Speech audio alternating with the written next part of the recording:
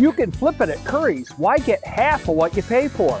Our premium made in Michigan Restonic mattresses have two sides, so you can flip it. Queen size only $5.99. So go ahead and flip it. Saving you money at Currie's.